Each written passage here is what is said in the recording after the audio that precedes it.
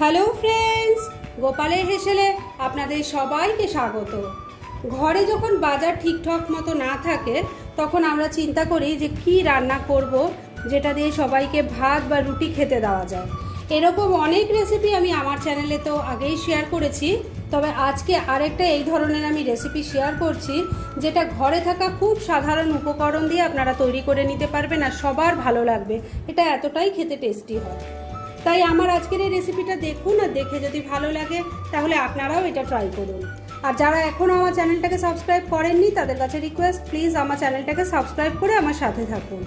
তাহলে চলুন এবার দেখে নেওয়া যাক এই রান্নাটা করতে কি কি লাগছে। এখানে আমি মুসুরির ডাল নিয়েছি, বড় কাপের এক কাপ মুসুরির ডাল আছে, এটাকে আমি তিন চার ঘণ্টা জলে ভিজিয়ে রেখেছিলাম। দুটো মিডিয়াম সাইজের আলুকে একটু বড় বড় টুকরো করে কেটে নিয়েছি।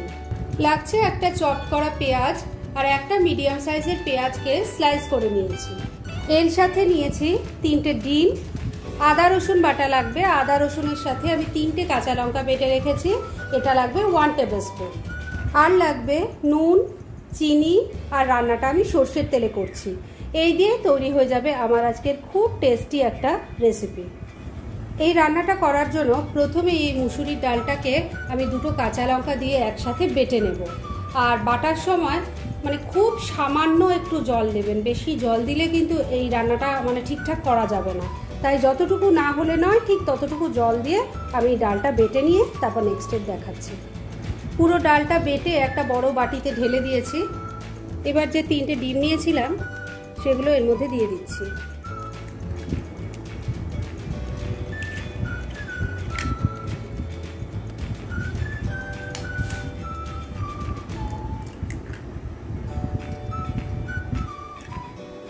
ডিমই ফাটিয়ে দিয়ে দিয়েছি। এবার এর মধ্যে চপ করা পেঁয়াজ কুচিটা দিয়ে দিলাম। সামান্য কিছু গুঁড়ো মশলা দিচ্ছি। অল্প একটু হলুদের গুঁড়ো, অল্প একটু কাশ্মীরি মির্চ পাউডার আর অল্প গরম মশলার গুঁড়ো দিয়ে দিলাম।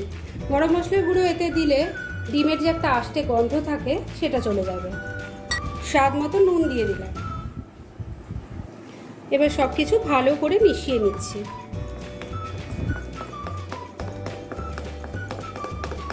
এই ধরনের রান্না যদি আগে না করে থাকেন, আমার রেসিপিটা দেখে অবশ্যই একবার বানান। খুব ভালো হয় খেতে। ভাত, রুটি, পরোটা, লুচি, যার সাথে খাবেন, খুবই ভালো লাগবে। সব কিছু ভালো করে মিশিয়ে নিয়েছি। এবার এই বাটিটা এক সাইডে রাখছে আর ওভেনে একটা প্যান গরম করে ফিরে আসছি। এবার এই রান্নাটা করার জন্য আমি একটা প্যানের মধ্যে অল্প একটু সর্ষের তেল গরম করে নিয়েছি। এবার ডাল আর ডিম দিয়ে যে ব্যাটারটা তৈরি করে রাখলাম, সেটা এর মধ্যে ঢেলে দিচ্ছি।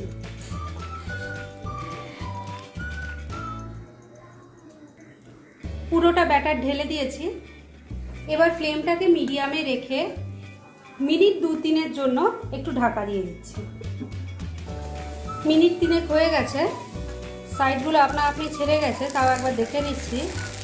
ভালো করে সাইডগুলো ছেড়ে দিয়েছে। এবার একটা প্লেট এই প্যানের উপর এভাবে রেখে প্যানটাকে এভাবে উল্টো করে দিচ্ছি। এই যে দেখুন, সুন্দর বেরিয়ে গেছে।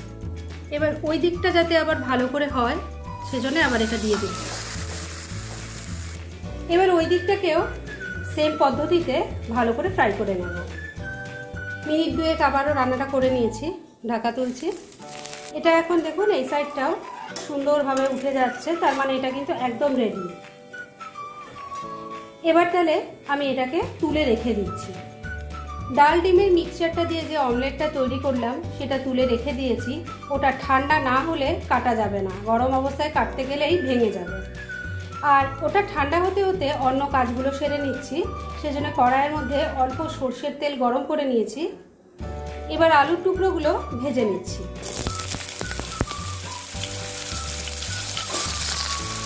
এর মধ্যে সামান্য নুন দিয়ে দিলাম।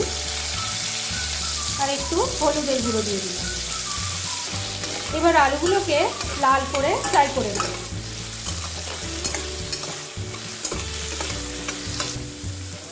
আলুগুলোকে ভেজে নিয়েছি, এবার তুলে নিচ্ছি।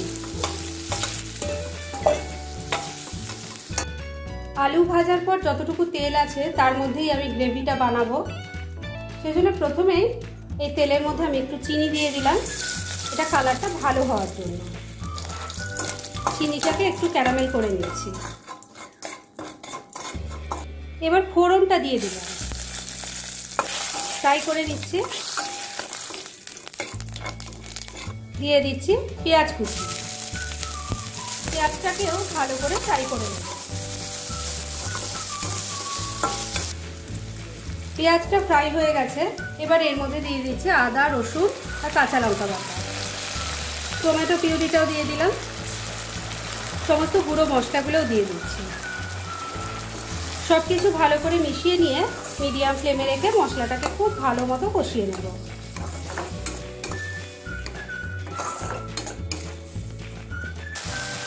মশলাটাকে খুব ভালো মতো কষিয়ে নিয়েছি। এবার অল্প একটু জল অ্যাড করলাম। আরেকবার মশলাটাকে ভালো করে কষিয়ে নিচ্ছি। এভাবে বারে বারে মশলা কষিয়ে রান্না করলে রান্নার স্বাদ কিন্তু দ্বিগুণ হয়ে যায়। এই ধরনের বিভিন্ন ভালো ভালো রেসিপি আমি গোপালের হেসেলে দিয়েছি। আপনারা চাইলে সেখান থেকে সেগুলোও দেখতে পারেন। আর কিছু আমি সাজেস্টেড বক্সেও দিয়ে দেব। সেখান থেকেও আপনারা অনেকগুলো ভিডিও পেয়ে যাবেন। আর ফ্রেন্ডস আমার ফেসবুক পেজ আর ইনস্টাগ্রামের লিঙ্কটা আমি ডেসক্রিপশান বক্সে দিয়ে দেব। আপনারা যদি একটু সময় করে দেখে নেন, খুব ভালো লাগবে আপনাদের। অবশ্যই আমন্ত্রণ রইল আমার ফেসবুক পেজে আর ইনস্টাগ্রামে মশলাটাকে আরেকবার ভালো করে কষানো হয়ে গেছে। এবার ভেজে রাখা আলুগুলো দিয়ে দিলাম। মশলার সাথে ভালো করে কষিয়ে নিচ্ছি।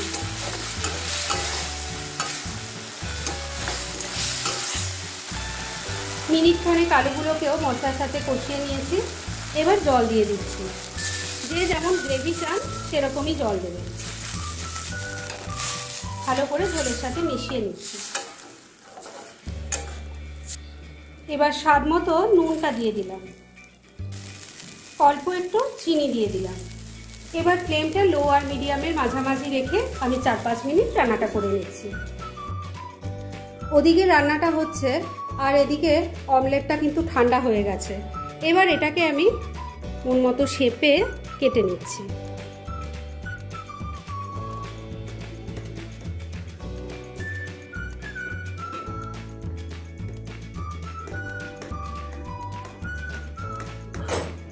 দেখুন আমি পুরো অমলেটটাকে ছোট ছোট পিস করে কেটে নিয়েছি। আমি একটু ক্যামেরার সামনে থেকে দেখাচ্ছি। এই যে দেখুন এই যে। এগুলো কিন্তু এমনিও চা দিয়ে খাওয়া যায়, খেতে খুব ভালো হয়। আগেও বলেছি, আবারও একবার বলছি, যদি আগে না ট্রাই করে থাকেন, অবশ্যই একবার ট্রাই করুন। এবার এই প্লেটটা এখন কিছুক্ষণের জন্য এরকমই থাক, আর ওইদিকে রান্নাটা কতটা কি হলো, সেটা একবার দেখে নিন। মিনিট চারেক রান্নাটা করে নিয়েছি, এবার ঢাকা তুলছি। প্রথমেই দেখে নেব আলুগুলো কেমন সেদ্ধ হয়েছে। আলুগুলো ভালো মতো সেদ্ধ হয়ে গেছে। এবার এর মধ্যে অমলেটের পিসগুলো দিয়ে দিচ্ছি।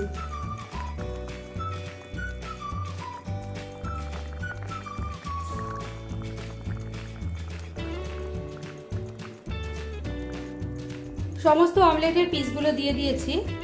এগুলোকে এবার একটু ঝোলের মধ্যে দিয়ে দিচ্ছি।